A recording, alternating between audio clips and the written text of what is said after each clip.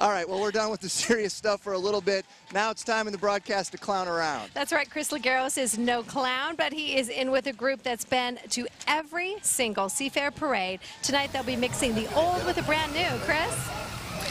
Listen, we're here with the Seafair Clowns, and I'm telling you, they are part of the Seafair tradition for sure. Uh, Dick Droppelman, you're, you're heading up the Clowns this year, right? I am this year again. How many years now for this organization? Uh, I've been on over 30 years. Over 30 years. Yes. But you've got like four guys that have Active members over 50 years. over 50 years doing the same thing. Still walking the parades. All right. And Yeah. it's more than just bringing smiles. You do more than that, don't you, in the community? Hospitals, retirement homes, rest homes, so on and so forth, or just general services things.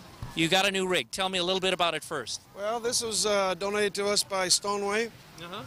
and uh, I have Dave Olmsted here with me, and it's uh, been completely reworked.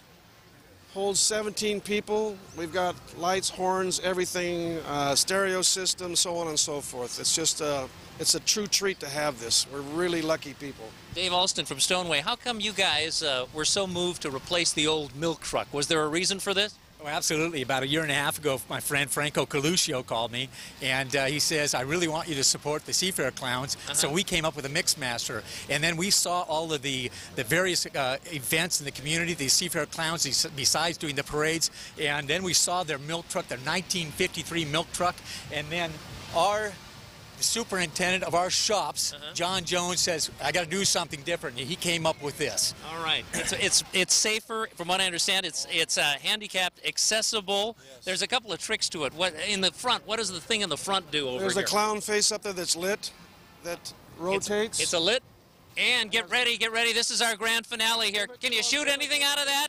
What does it do? There it goes. Water, water, water. So there's your warning tonight, folks. Back to you.